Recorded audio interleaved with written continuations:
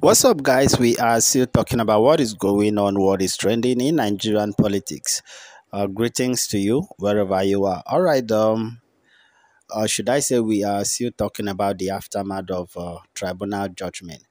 And then um, the update I have for you, I will share the video the moment Wike asks for the National Working Committee of PDP to sack Atiku Abubakar.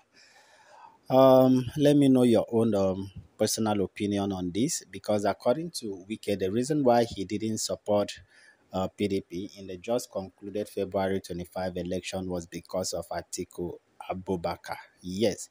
You know, um, of recent, um, PDP has been calling, or should I say, Nigerians has been asking the reason why up to this moment the PDP is yet to suspend Wike after the anti-party activity. According to Dele Momodu, uh, that if he has his way, he would have um, suspended or expelled Wike from the party. But now Wike is the one calling for the National Working Committee of PDP to sack Atiku Abubakar. Why?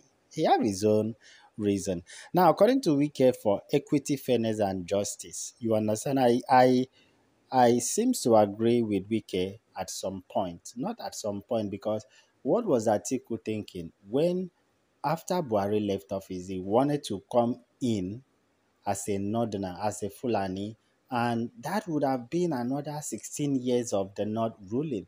Then what about the power rotation? Of course, it is not constitutional, but when you are talking about a country with um, a diverse ethnic group, with a different ethnic group, different religion, and so on, and you want one section of the country to be ruling the entire 200 million people, it doesn't make sense at all.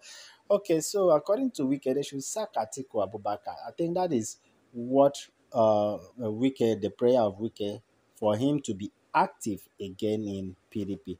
But the question is, between Wike and Atiku, who should PDP expel? Is it Wike or Atiku Abubakar? Let me know what you guys think. Watch the moment Wike call for National Working Committee to sack Atiku Abubakar. And that's why I'm calling the National Working Committee. They should, with all, all matter of their agency, suspend the presidential candidate, suspend people like Abu Tabor, suspend people like Sule Lamida from the party so they can rebuild the party. What about you? How can People are calling for your own suspension No, they know. and even expulsion. No, no, they, they know that I didn't do anything wrong. They should even congratulate us for fighting for equity, justice, and fairness in this against country. the will of the party. Against the will of Nigerians. The party against Nigerians, who is superior? Is it the party that's superior to Nigerians or Nigerians are superior to the party? We have the constitution. Because you think you have the power. Not for the constitution. You can do anything without anybody. And we say, no, it's not possible. You can't succeed. You require everybody to put that together, to work together for you to as a